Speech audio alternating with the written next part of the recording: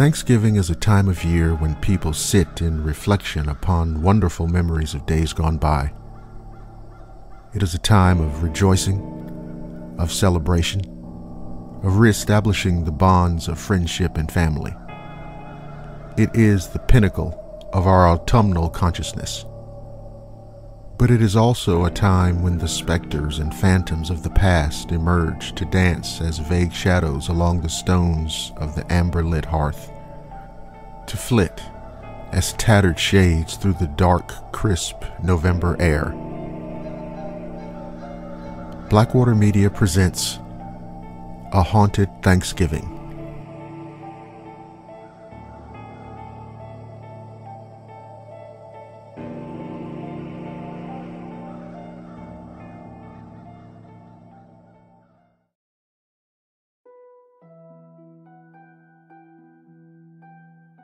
A few years ago, I was at my parents' home for a family dinner on Thanksgiving Day. This is the house I grew up in and have never experienced anything paranormal. What happened to me that day was very surprising and still bothers me to this day. I spent the early part of the day helping my mother in the kitchen preparing dinner. We were laughing and talking and looking forward to sitting down to eat with the whole family. While making pumpkin pies, my mother needed a break from the heat of the kitchen and went into the living room to watch the Macy's Thanksgiving Day parade. I stayed in the kitchen and continued to work.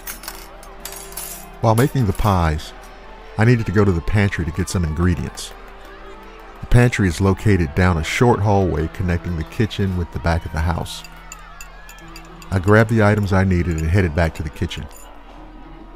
I was almost back to the kitchen when I remembered that I forgot to grab something and quickly pivoted around to head back to the pantry.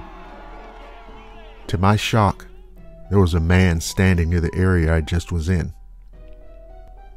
It must have been two or three seconds, even though it felt like forever, and then he was gone.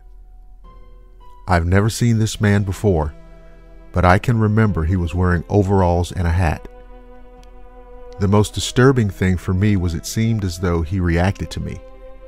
It was like he was either shocked that I saw him or he was shocked to see me. After seeing this man, I decided not to tell my mother or father. It wasn't until months later I finally felt comfortable enough to tell my mom about it.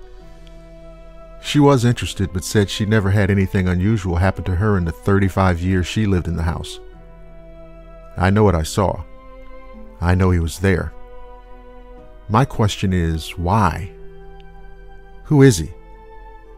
Why did I see him? In my 28 years of living and visiting my childhood home at Thanksgiving brought back so many great memories. But the two to three seconds on that Thanksgiving day seems to be burned into my mind more than anything else I've experienced in that house.